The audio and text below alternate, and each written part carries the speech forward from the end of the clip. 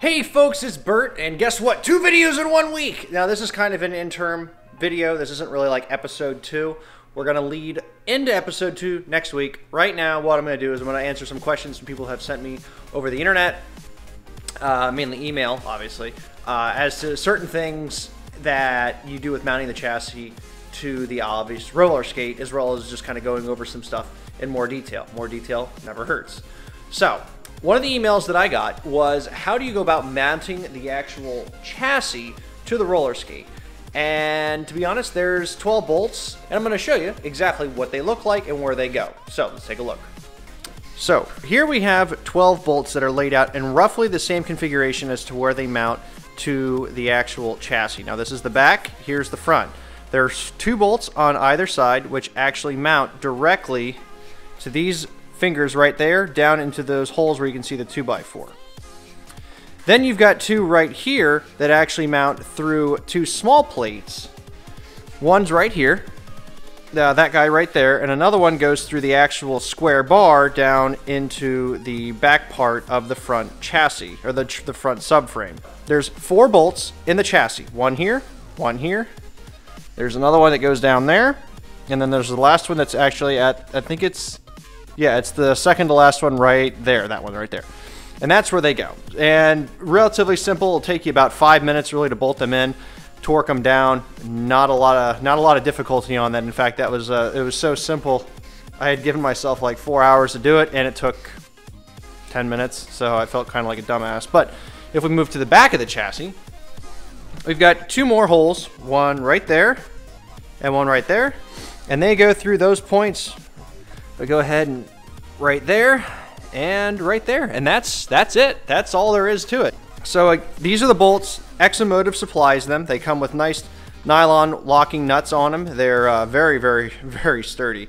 You don't have to worry about these things breaking. They aren't powder coated or anything, but you won't have to worry about it. But you just drop these down, bolt them up, and you're good to go. You don't have to do anything fancy with them. Lock them down. Now, the biggest possible problem you may run into is actually mounting the front four bolts. And the reason for that is something I found out. The subframes are not always perfectly square. Something that happens as a car ages, its shape will change variably a couple of millimeters here and there. I found that I was able to get two on one side and only one on the other. Now, the problem with that is the spacing for where the shock clears the front uh, control or the front uh, upper control arm is very, very, very tight. So you need to make sure that you have those bolts tightened down and in the whole way, which I was never able to get the last one, so I shouldn't run into the problem. But what ended up happening, and I'll go ahead and I'll show you. So what ended up happening is right here, the rings on the actual coilover ended up impacting right here, which is obviously a problem. Hopefully once I get the bolts properly mounted all the way here and here, I won't run into that problem anymore, so we should be good. But the first time I fitted it, I had a bit of trouble with it. Some people have done some weird, crazy things to get it to fit. I'm honestly not sure what I'm to do, so we will tackle that at a later date. But yes, this is something very, very important. Make sure you get this stuff to fit. Some people have actually gone and they've actually cut this out and then they've added a support beam that goes through here to here. It's like a hoop uh, I'm not exactly sure where to find that, so if anyone knows, please tell me, because I don't actually know where to find that or even what it really is. Now, moving on. Obviously, we are not going to have this thing ready for the first race and have it be road legal. So, what we're going to do is we're going to get it ready to at least drive. We'll take it to the first race, which is in roughly seven, six, seven weeks. It's at the end of May here in Pennsylvania. It should be at the Farm Show Complex. So if anyone would like to come, meet me and the rest of the team, we will all be there. Doug's got himself a new uh, a new car. John's got an upgraded, extremely dangerous Miata that is ungodly fast, and I will have this. And we'll probably be driving this around the parking lot a lot because this is the first. That'll be like where we're kind of safe. We don't have to worry about having it not be road legal, and we can drive it around and kind of test uh, the suspension and you know dial in the the camber and all that other that, that other kind of crap that we really have no idea what we're doing right now. Now, one thing to keep in mind is that right now this whole thing is actually up on stilts. I had Doug over the other night and he was kind enough to help me set this on here, so I just need to drop it down. But what I'm going to do is I'm going to run the brake lines and I'm going to run the fuel lines. Now, I got the Exomotive Edelbrock fuel kit, and I know people are going to like, oh my god, it's Edelbrock. I know it's kind of like the Pep Boys or like the AutoZone stuff, but it's what they had and it's what they, you know, you spend, it's like 330 bucks. They send it out to you. You can pretty much delete all of the unnecessary crap on the engine as far as your fuel system, including this lunk of junk here, which is like your uh, charcoal canister and all that other stuff. You can get rid of all of that, along with all this unnecessary garbage here, your expansion tanks and everything. You can just junk all of that. And I actually talked to Kevin Patrick, the man who designed the Exocet, and he says, yeah, with our system, you don't really need any of that. You can go ahead and junk it. And I've heard from a lot of other people, especially Doug, that with the fuel system, it's not really all that super important necessary and you can actually get rid of it and the car will still function just fine. A lot of it is there just to make sure that, you know, everything lasts for pretty much ever. I don't understand how a lot of it works, so I'm not going to go into detail. But I've been told by multiple sources that you don't need it, and on almost every Exocet you will see, that stuff's not even there anymore.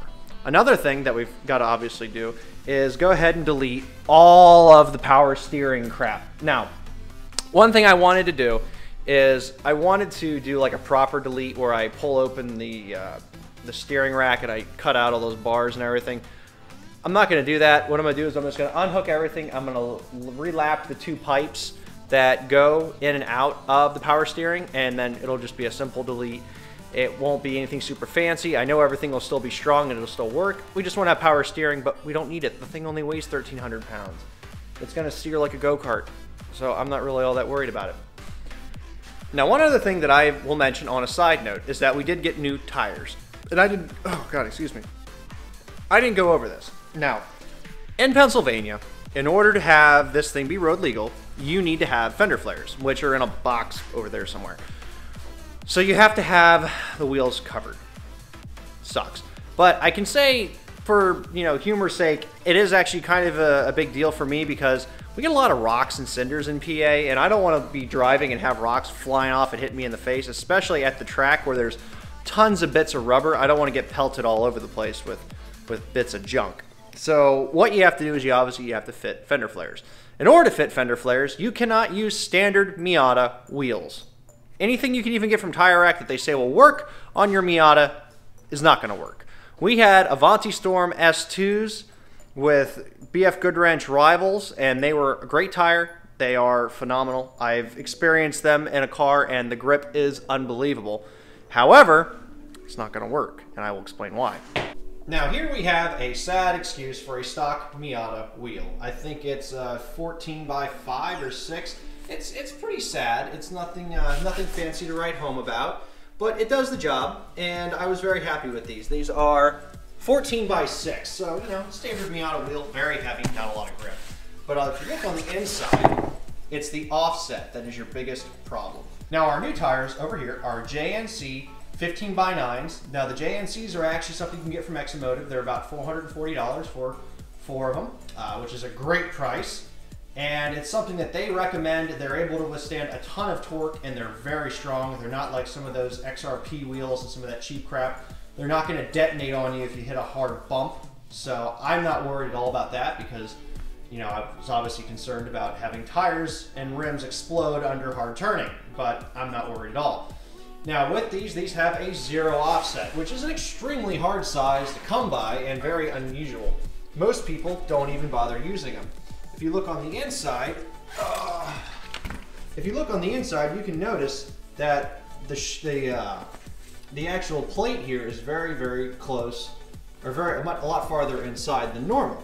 And that's because this is obviously a zero offset rim. You are going to need a zero offset rim if you are going to use the fenders and have it be street legal in your state if you require those. PA sucks, so we need them. So, good set of JNCs with uh, tires. These are, again, uh, BF Goodrich Rivals, which are pretty much the best track and street tire you can get. And they're actually quite comfortable. And they work well in decent bits of weather, obviously not uh, super cold weather because they will pretty much turn into rock. But four wheels and four tires, mounting and balancing, you're looking at like 1100 bucks, which is a hell of a steal in my opinion. The only downside with these currently And we go to look at the back of the Exocet here. Now, if you look at the back wheel here, you can see right there is the new rotor and the new caliper. Now, these are much larger than the stock ones from the 99 that I had. Those are actually from a Mazdaspeed Miata or just a Mazda Sport, which is one of the later ones, the Miata Sport, which is a later model. But same NB, but they went with larger brake rotors and it had a lot more stopping. Now I know some of you, actually many of you have told me, well you've already lightened the car by a thousand pounds almost, why do you need better brakes? Because bigger brake rotors look cool, that's why. But unfortunately because we've used larger brake rotors, we needed to use a 15 millimeter offset spacer. Make sure you get a hub-centric spacer and use hub-centric rings with whatever rims you use. That is extremely important. Otherwise, you're going to upset the torque and geometry of your tires, and it could be very bad. We've also used very, very long, A I think they're APR studs. They're a lot longer than the stock ones. You're going to need those as well. If you don't end up needing uh, fenders in your state, then you can pretty much use whatever stock Miata tires you want. But if you're like PA, which again, PA kind of sucks for PennDOT regulations, is what we call it. It's called PennDOT. And uh, they're, they're real picky with making sure your wheels are covered. But if you have a rat rod in PA, you don't have to have like anything covered. Sucks. But again, we're going for a good looking sort of show car. I've never really had a really nice car, so this will be something obviously uh, a bit different. But yeah, that's really what we're going to go over uh, in the next episode is we're going to mount the fuel lines, which really shouldn't take more than half an hour. Uh, I still have everything sitting in a box up there on the shelf.